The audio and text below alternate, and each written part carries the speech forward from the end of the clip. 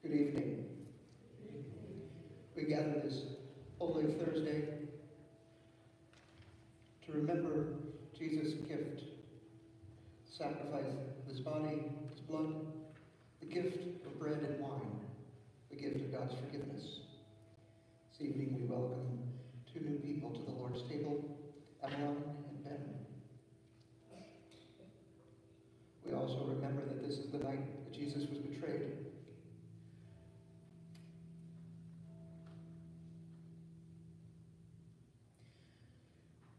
Time of Holy Communion. The ushers will instruct you to come forward down the center aisle. Ben and Emeline's families will come first, receive communion with their children. We gather around the table, we receive bread and wine. There are cups in the, trays. If you prefer to receive the sacrament the form of grape juice, please take one of the pre-filled cups with you and bring that forward. Otherwise, of the empty ones. Our offering plates are also at the front of the aisles.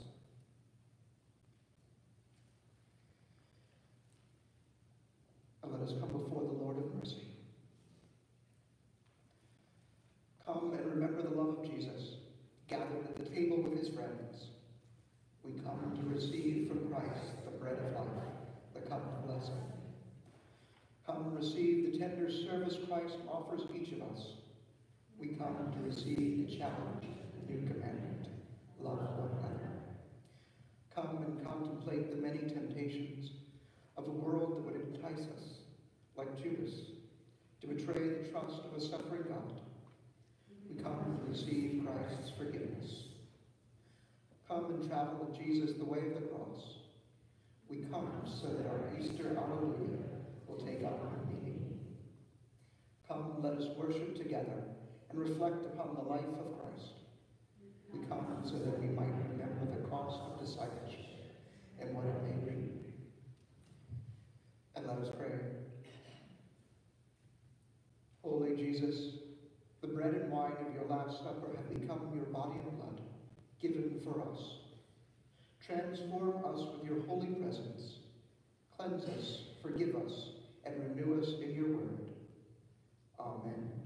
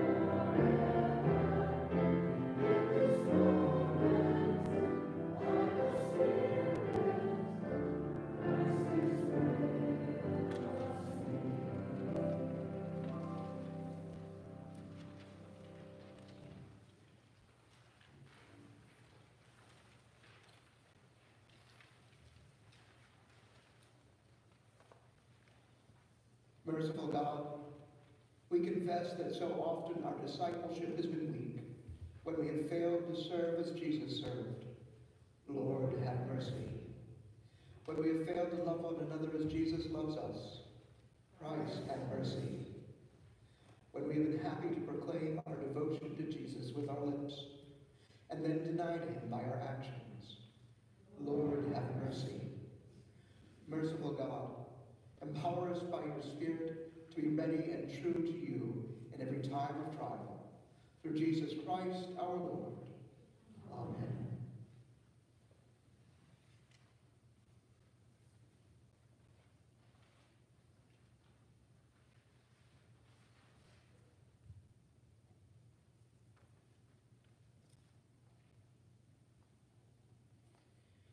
Jesus came not to judge the world, to save the world.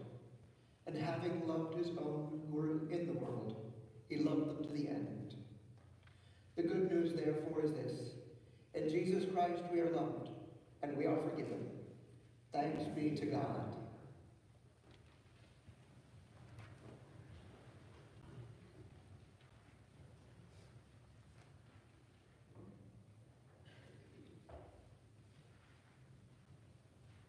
In Mark's Gospel, we hear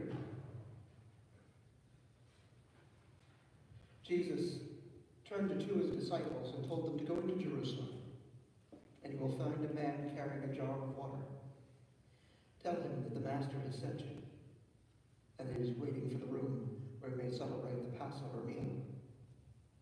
And the two disciples went into Jerusalem, found a man carrying a jar of water, and told them what Jesus said, and he led them to a room prepared for the supper. As the supper was concluding, Jesus sat at the table, looking at his disciples, and said to them, One of you will betray me. And each of them began looking at the other and said, Surely not I, Lord. Each one said this. And Jesus looked at all of them and staring said, One of you here is eating with me will betray me. And the rest of you will run away in fear. And they all began to say, No, we won't. And Peter stood up vehemently and said, I will stay with you to the end, Jesus. You may think you will, Jesus said. But I tell you this, before the rooster crows in the morning, you will have denied me three times.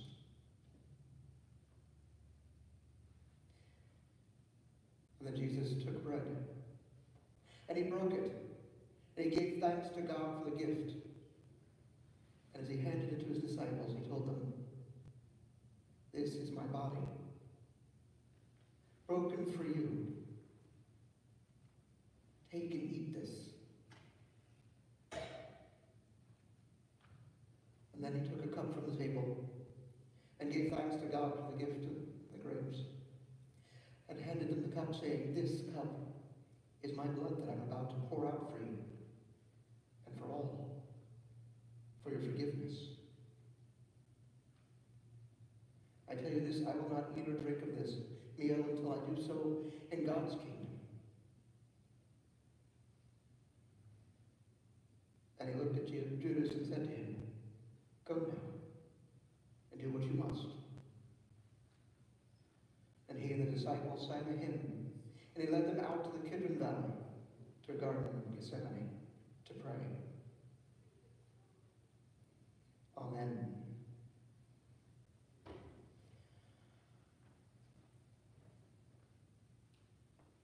What a powerful night that must have been. All the emotions going on. Think of what's happened in these last few days. About a week earlier, before they arrived, Jesus had stopped his disciples and asked them, Who do people say that I am? Some think you're Elijah had returned, others a prophet. But he looked at his disciples and said, Who do you say that I am? And Peter was going to boldly step forward and said, You are the Christ, the Messiah, Son of the living God. And then Jesus told him that he must go to Jerusalem, there he will die and give up his life. And Peter vehemently opposing this, shouting and saying, I'm not going to let this happen. And then being called a follower of Satan for wanting that. And then the joyous arrival. People pouring out in the street, waving palm branches, greeting Jesus, the excitement. Jesus going into the temple and looking around and seeing what was going on, knocking over tables and driving people out and shouting at them for what they've done to his father's house. And now they gather for a meal. A meal that the Jews had gathered for for centuries. To remember, to celebrate, and to give thanks to God. He had sent Moses, to the deliverer, to rescue them from slavery in Egypt.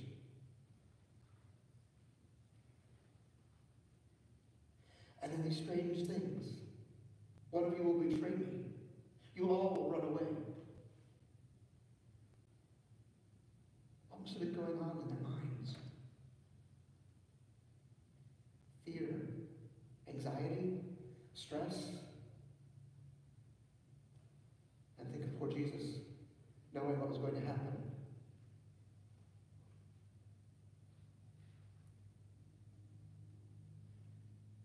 I often wonder what hymn they sang. Mark's Gospel tells us they sang a hymn before they went out. A hymn? In the midst of all of this, Jesus looks at his disciples and realizes, I've only got a couple of hours left with you. How can I tell you how important this is? A sermon? No, no, that won't, work. A parable? No, you guys never got them anyway.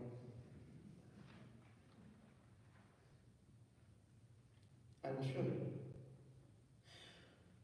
So meal, at one point, he gets up and he gets a bowl and a pitcher of water. He walks over to his disciples. He walks over to Peter. I'm sure he chose Peter for a reason. Because he knew Peter, hothead, quickly jump into action, put his foot in his mouth too. And he kneels down before him and begins to pour water in the bowl and starts to wash his feet. And Peter gets angry with Jesus. What are you doing down there? You shouldn't be on your knees washing my feet. Do you know who you are? Of course I do, Peter. But do you know who I am? Really know who I am? I'm the one who is bringing God's love into this world. And if I am willing to kneel before you, how should you treat others? How should you treat others? This night we gather to celebrate Jesus' gift of Holy Communion, his gift of forgiveness, his gift of love. And a reminder that we are called as Jesus followers to share that love. If the song had been written back then, I know the hymn that they would have sung. They'll know that we are Christians by our love. They'll know that we are Christians, followers of Christ, by our love. Amen.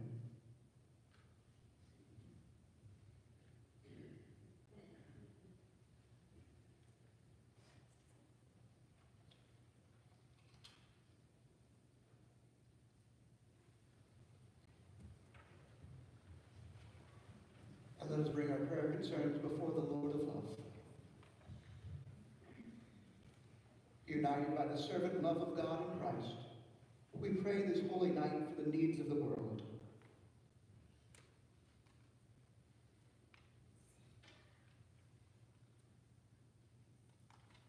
write your new commandment of love on the heart of every believer. Strengthen pastors, deacons, and lay leaders in humble service for your people. Lord, in your mercy, hear our prayer. We pray for the good earth you have made. Protect fields, orchards, local farms, and gardens. Inspire us with new life budding around us, that we may show more care for plants and all living creatures.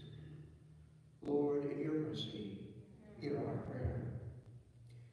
We pray for leaders in every land. Kindle compassion and equity in all who are called to administer justice. Guide all in positions of power away from the temptations of abuse and toward work for the common good.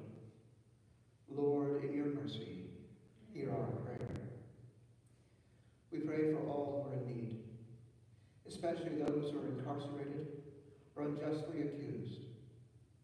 Illuminate paths to end oppression and form supportive communities gathered around a common commitment to justice and peace. Lord, in your mercy, hear our prayer. We pray for this congregation and all who gather to receive your body and blood this night. Fill us at this shared table and nourish us well to heed your example of grace. Send us in love to those who cannot be with us due to illness, especially those we hold most near and dear to us in our hearts.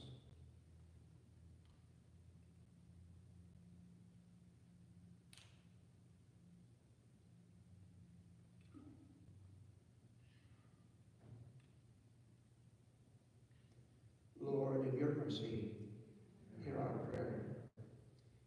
We give thanks for those who have died in the faith. Teach us by their example, and comfort us as we mourn. Renew us by the promise of life together with you. Lord, in your mercy, hear our prayer. Hear these and all our prayers, O God, in the name of the one who loves us to the end, Jesus Christ, our Redeemer. Amen. And the peace of Christ Jesus be with you always.